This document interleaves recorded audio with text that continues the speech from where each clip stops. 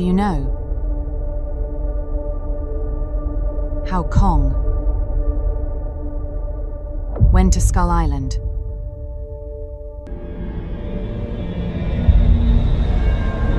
While exploring the mysterious depths of the Hollow Earth, we stumbled upon a shocking revelation about Kong. Surprisingly, Kong and Godzilla weren't alone down there. An entire species of these colossal titans existed. Hidden world of giants. A long time ago, there was a colossal titan war beneath the Earth's surface when Kong was just a tiny baby. He saw these epic battles happening around him.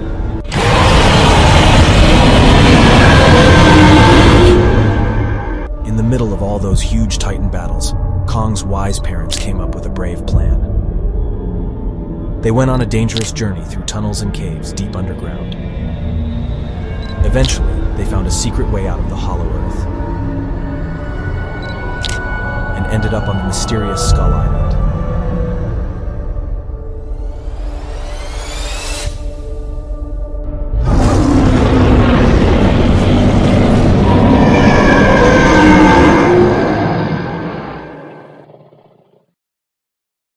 The showman who brought Kong to New York returns to Skull Island and finds Kong's son, a spunky 12 footer with a winning personality and his dad's awesome strength.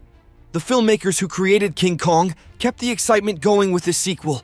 Released the same year as the original Kiko is the albino son of King Kong, who appeared in the 1933 RKO Radio Pictures film Son of Kong.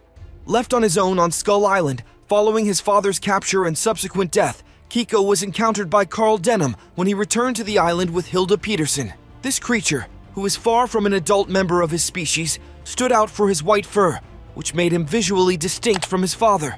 Though he was created using many of the same models from the 1933 film, Little Kong was no more than 12 feet tall. It's unclear just how big Kong is exactly, but considering what's shown in the Godzilla vs. Kong trailer, he should be between 350 to 400 feet, given Godzilla is 393 feet.